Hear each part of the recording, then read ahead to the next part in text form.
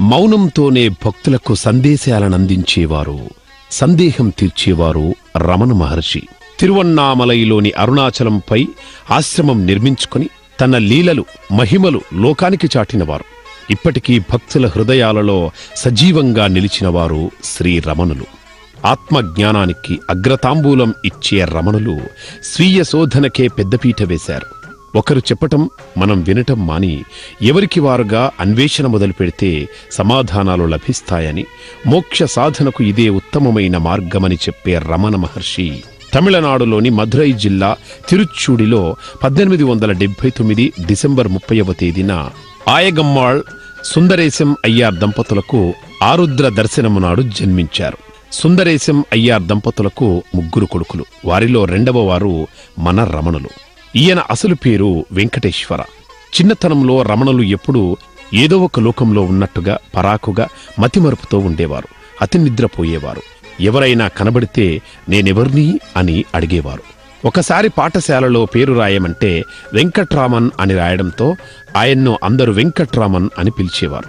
ఆయన చదువుకి పనికిరాడని ఆనాటి ఉపాధ్యాయులు తీవ్ర స్వరంతో విమర్శించడంతో చదువు మానేశారు. రమణుల పన్నెండవ ఏటనే తండ్రి కాలం చేశారు. అరుణాచలం గురించి విన్న వెంటనే ఆయనలో అసాధారణ మార్పు కలిగింది.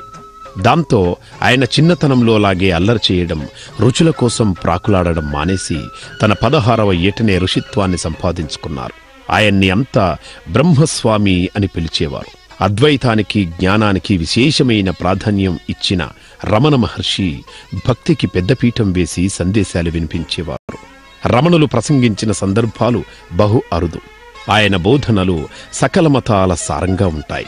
మనిషికి నిరంతరం చిరంతరం జ్ఞానం కావాలంటారు రమణులు.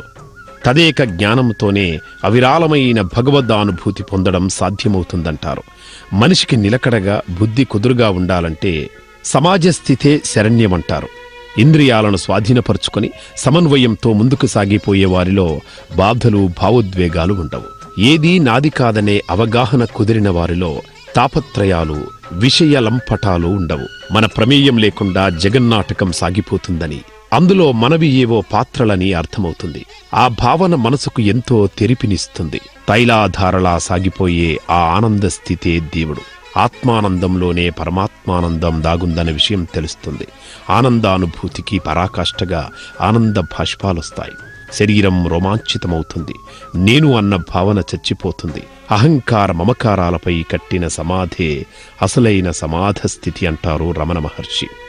రమణ మహర్షి ఆశ్రమాన్ని దర్శించిన తెలుగు రచయిత చలం ఓ సందర్భంలో తన మనసులో మాట వెల్లడిస్తూ ఓ ఆత్మ మౌనమైన రూపంలో ఇన్నేళ్ళు పరిపాలించిన ఆశ్రమం రమణ మహర్షి ఆశ్రమం.